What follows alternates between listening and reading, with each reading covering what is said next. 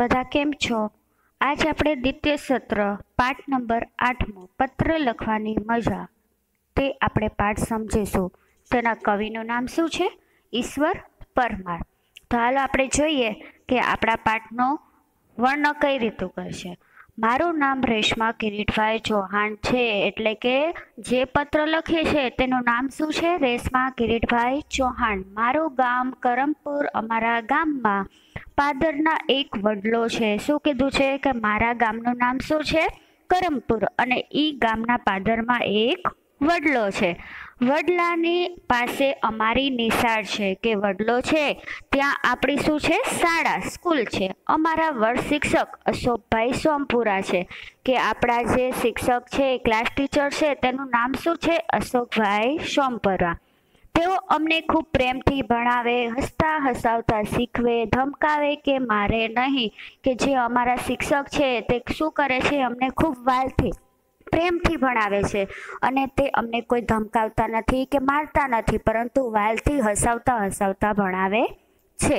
નિશાળમાં અમને મજા પડે. અમારા સાહેબ અમને વર્ગમાં વહાલ કરે એવું નહીં, પરંતુ વર્ગની બહાર કે રિસેસમાં અમારી સાથે વાતો કરે. કે આપણા જે અમારા સોમપુરા શિક્ષક છે અશોકભાઈ, તે શું કરે છે આપણને એમ નહીં કે સાહેબ જે વર્ગમાં હોય ત્યારે આપણને વાલ કરે એવું નહીં, પરંતુ તે વર્ગની બહાર પણ અમને શું કરે છે? પ્રેમ કરે છે અને અમારી સાથે વાતો કરે છે. વર્ગની બહાર કે રિસેસમાં અમારી સાથે વાતો કરે. નિશાળની બહાર મળી જાય તો મજામાં. એમ કહીને હાથ ઊંચો કરે કે અમારા શિક્ષક જે છે સોમપુરા એ અમને બહાર મળે. ત્યારે અમને શું કરે છે? કે હાથ ઊંચો કરે, અમને જોઈએ તો હાથ ઊંચો કરે. આવા પ્રેમાળ શિક્ષક પાસે જૂન મહિનાથી ભણતા ભણતા ક્યારે ઓક્ટોબર મહિનો આવી ગયો તેની ખબર ના પડી. શું કીધું કે જૂન મહિનાથી શિક્ષક આગળ અમે ભણતા હતા? ત્યાંથી ઓક્ટોબર મહિનો સુધી અમે ભણ્યા, પણ અમને ખબર ન પડી. એટલે કે એનો સમય કઈ રીતે વહી ગયો ખબર જ ન પડી. વેકેશન જાહેર થયું. અમે બધા રાજી થતા નિશાળેથી ઘર તરફ જતા હતા. સુખ દુઃખ વેકેશન હોલિડે થઈ ગયું. ત્યારે બધા અમે શું થઈ ગયા? રાજી થઈ ગયા. અમે ઘરે જતા હતા. ત્યાં પાછળથી આવતા અશોકભાઈ અમારી સાથે થઈ ગયા. એટલે અમારી સાથે અશોકભાઈ સોમપુરા છે. એ પણ અમારી સાથે મળી ગયા. વડલાની છાયામાં અમારી વચ્ચે ઊભા અશોકભાઈ કહે, બાલ દોસ્તો, વેકેશનમાં શું કરશો? ત્યારે અશોકભાઈ છે, એ છોકરાઓને એટલે કે સ્ટુડન્ટને શું પૂછે છે કે, દોસ્તો, વિદ્યાર્થીઓ, તમે વેકેશનમાં શું કરશો? હોલિડે રજા પડશે, ત્યારે તમે શું કરશો? અમે કહ્યું, નવા નવા કપડાં પહેરશું, ફરવા જઈશું અને દિવાળીની મીઠાઈઓ ખાઈને મોજ કરશું. શું કીધું? કે અમે તો જ્યારે રજા પડશે તો નવા નવા કપડાઓ પહેરશું અને દિવાળીની મીઠાઈઓ ખાશું અને મોજ કરશું. હવે આપણે પાના નંબર છે ચાલીસ, એટલે કે એકતાલીસ પેજ ઉપર જો શું કહે છે? યસ બોલો. એટલે કે એમાંથી જે એક વિદ્યાર્થીનું નામ યસ હતું એ શું બોલ્યો? સાહેબ, તમે તો અમને ભૂલી જશો, પણ અમે તમને નહીં ભૂલ્યા હો. એમાંથી યસ શું કહે છે? સર, તમે અમને ભૂલી જશો, પણ અમે તમને ભૂલીશું નહીં. અશોકભાઈ કહે, ના રે, ના, તમને તે કાંઈ ભૂલી જવાય, હું તમને બધાને પત્ર લખીશ. અશોકભાઈ સોમપુરા જે સર હતા, શિક્ષક હતા એ કે, ના રે, ના, હું કંઈ ભૂલી જઈશ, હું તમને બધાને કે, પત્ર, લેટર લખીશ કે. વસંત કહે, સાહેબ, પત્ર કેવી રીતે લખાય? અમને શીખવાડો ને. વસંત તેમાંથી છોકરો જે હતો એ સરને શું કહે છે કે, પત્ર લેટર કેમ લખાય સર? અમને શીખવાડો ને કે.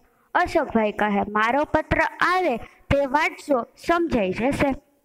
શું કીધું કે, હું તમને પત્ર લખીશ અને તમે એ વાંચજો, એટલે તમને સમજાઈ જશે કે આ પત્ર કઈ રીતે લખાય.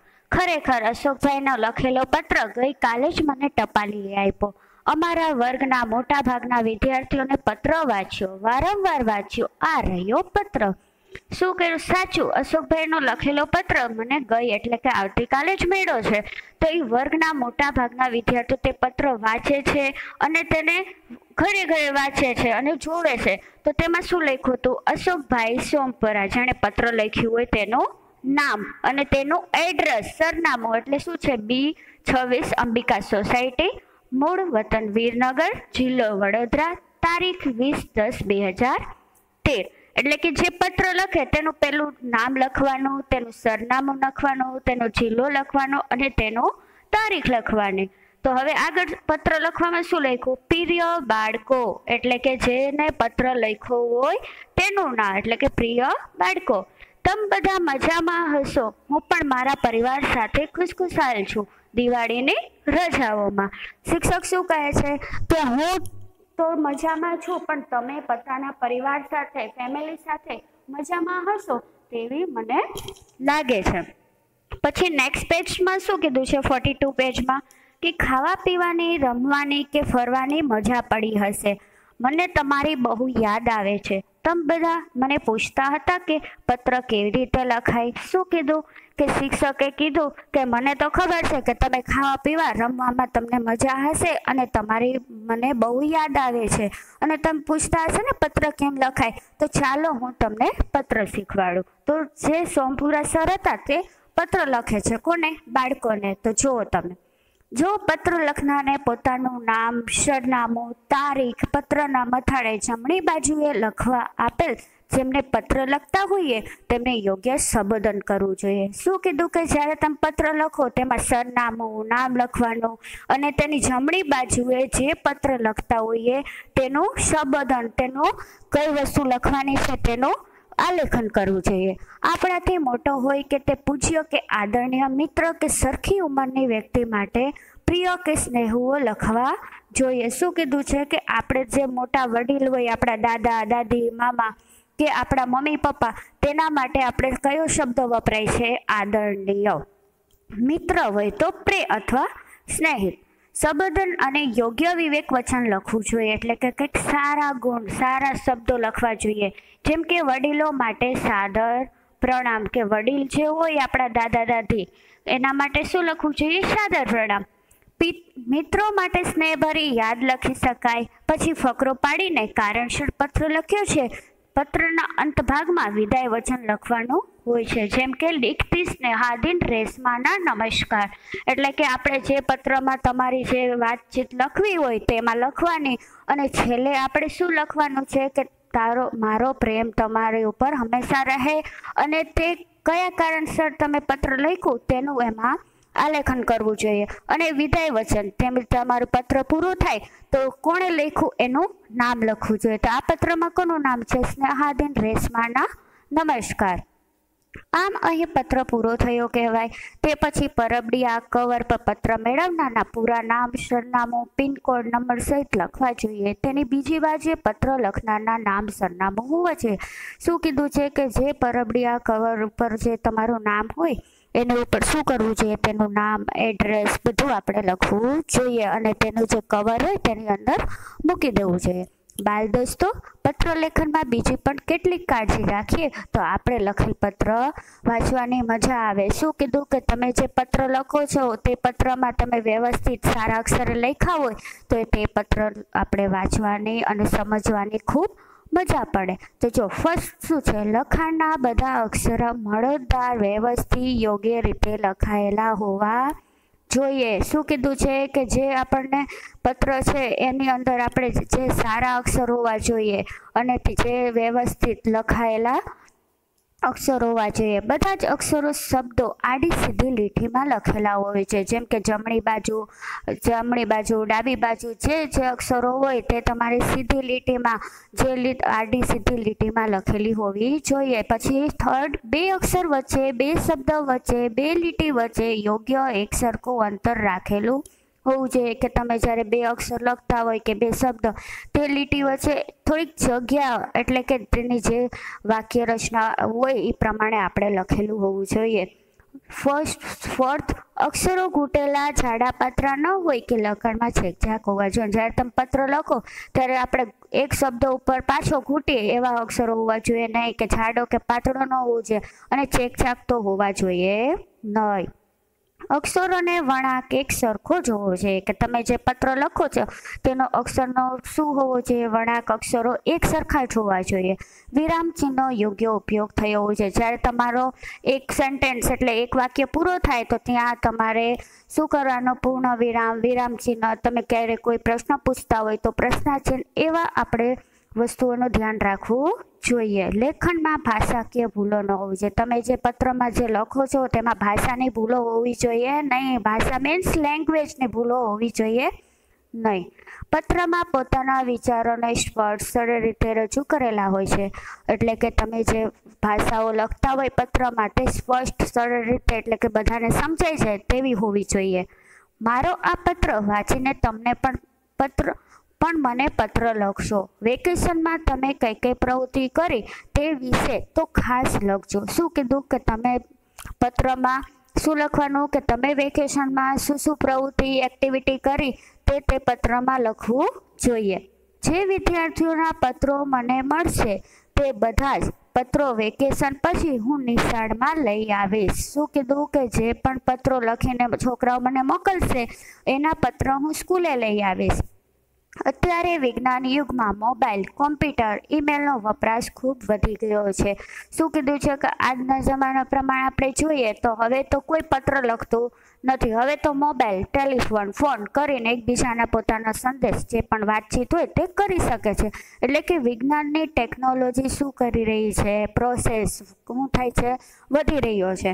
જેથી આપણે હવે પાન નંબર ફોર્ટી થ્રીમાં શું કીધું જેથી પત્રો ખૂબ ઓછા લખાય છે. શું કીધું કે હવે એટલે પત્રો ઓછા લખાય છે? કારણ કે બધા હવે મોબાઈલ તો પોતાના ફ્રેન્ડ કે સગાવાલાઓને ફોન કરીને પૂછી લે છે. એટલે પત્રો કેવા થઈ ગયા છે? ઓછા. ખુલ્લા અને મોકળાશથી પત્ર લખવાની અને આવો પત્ર વાંચવાની મજા તો કાંઈક ઓર જ છે કે જે પત્ર આપણે લખ્યું હોય, વાંચ્યું હોય, તેને વાંચવાની અને લખવાની તો મજા કંઈક અલગ જ છે. તમારા વડીલોને મારા વંદન કહેજો. શું કહે છે કે મારા વડીલો છે એટલે કે તમારા જે મા બાપ છે અથવા તમારા મમ્મી, પપ્પા, દાદા, દાદી છે એને શું કહેજો? મારા વંદન, નમસ્કાર કહેજો. તમે સદાય આનંદમાં રહો તેવી શુભેચ્છા પાઠવું છું. શું કહે છે કે, તમે હંમેશા ખુશ રહો, તમે હંમેશા આનંદ રહો એવું મારી એક પ્રાર્થના છે. હવે જેણે પત્ર લખ્યું હોય તેનું નામ લખવાનું. લિખિત અશોક સોમપુરાના આશીષ જેને આ પત્ર લખ્યો હોય તેનું છેલ્લે શું કરવાનું? નામ લખવાનું. લી એટલે કે લિખતિક લખનારનું. અને અશોક સોમપુરા આશીષ એટલે કે જે પોતે પત્ર લખતા હતા તે. હવે જો આપણે શું આપેલું છે? શબ્દ સમજૂતી. શું કીધું છે? શબ્દ સમજૂતી. એટલે કે જે પાઠમાં આપણને સમજૂતી જે પણ અઘરા શબ્દો હતા તેને આપણે મિનિંગ આપેલું છે. તો જો ફર્સ્ટ શું છે આપણને? સંબોધન. સંબોધન. શું લખ્યું છે? સંબોધન. એટલે કે બોલવામાં વપરાતો શબ્દ.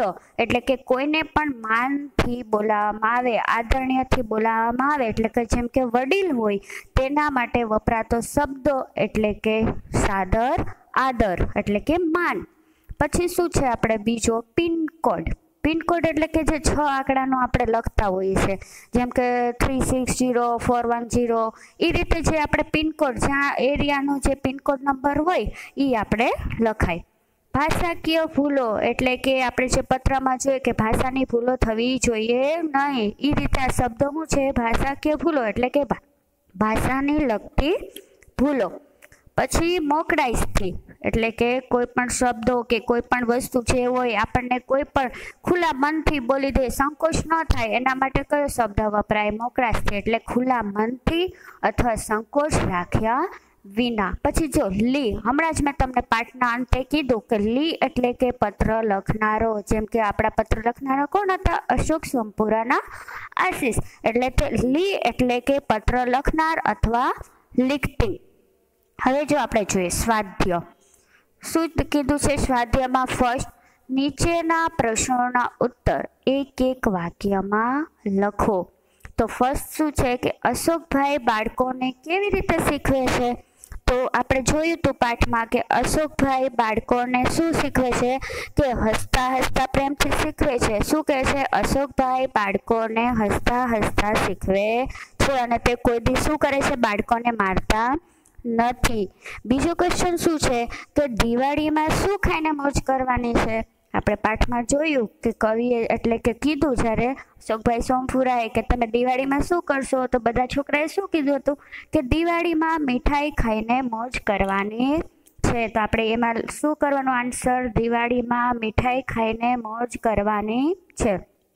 થર્ડ વડીલને કયા શબ્દોથી સંબોધન થાય? આપણે હમણાં જોયું કે આપણા જે વડીલ હોય, મોટા હોય, દાદા, દાદી, એને કયા શબ્દોથી આપણને બોલાવાનું છે? આદરણીય એવા શબ્દથી. કેવા શબ્દથી? આદરણીય શબ્દથી સંબોધન કરવાનું છે.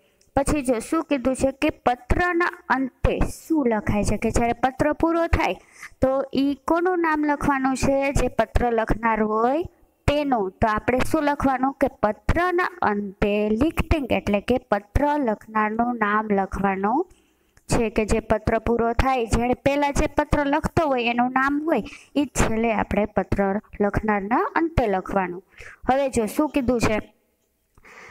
કે સેકન્ડ ક્વેશ્ચન પત્ર લેખનમાં સીસી કાળજી લેવી જોઈએ કે જ્યારે તમે પત્ર લખો ત્યારે આપણે કઈ કઈ વસ્તુઓનું ધ્યાન રાખવું ખબર હોય તો તમને પાઠમાં એ કીધું હતું કે તમે જ્યારે પત્ર લખો તો કઈ કઈ વસ્તુનું ધ્યાન રાખવાનું?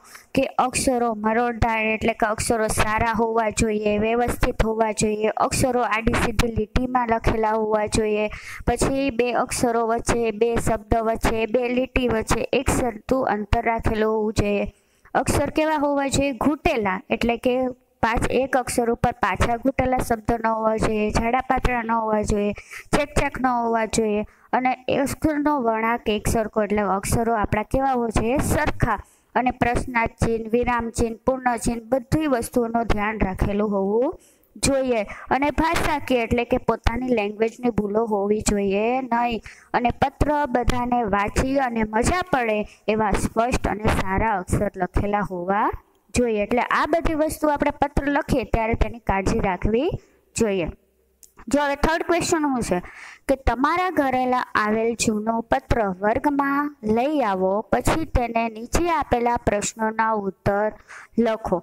તો તમે જ્યારે તમારી ઘરે કોઈ પણ પત્ર આવ્યો હોય, તો તેની અંદર આપણે જે પણ પત્રનો ઉલ્લેખ થયો હોય, નામ હોય, લિખતી જે પણ વ્યક્તિનું નામ હોય, કે એ શું લખ્યું હોય, એને એડ્રેસ એની તારીખ તમારા તમારા રીતે લખવાનું છે. જેમ કે જો પત્ર કોણે લખ્યો છે, તો આપણે આ પાઠમાં જોઈએ, દાખલા તરીકે, ઉદાહરણ તરીકે, કે અશોક સોમપુરાએ આ પત્ર લખ્યો હતો. એટલે આપણે પોતાની રીતે જે પણ પત્રમાં નામ હોય, એ લખવાનું.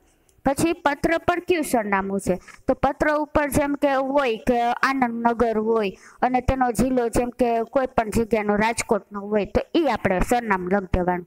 પછી પત્ર પર કઈ તારીખ લખેલી હોય? જેમ કે છવ્વીસ બાર બે હજાર એકવીસ કે વીસ જે તારીખ આપણે પત્રમાં હોય એ લખી દેવાનું. પછી પત્ર પર પોસ્ટ ઓફિસનો સિક્કો અને તારીખ વચ્ચે તો લખવાનું. આપણે જોઈએ કે પોસ્ટ ઓફિસથી જ્યારે સિક્કો મારીએ કે એનો પોસ્ટર લગાડીએ, તો એમાં પણ તારીખ અને સિક્કો હોય એ પણ તમારી રીતે લખવાનું છે. પછી જો ફોર્થ ક્વેશ્ચન ફોર્થ ક્વેશ્ચનમાં તમને શું કીધું છે? કે નીચેના દરેક શબ્દ વિશે એક બે વાક્ય લખો. જો આપણે જે શબ્દો આપેલા છે, એના વાક્ય શું કરવાનું? સેન્ટેન્સ બનાવવાનું છે. જેમ કે શું છે? ટપાલી. તો ટપાલી શું લઈ આવે? ટપાલ.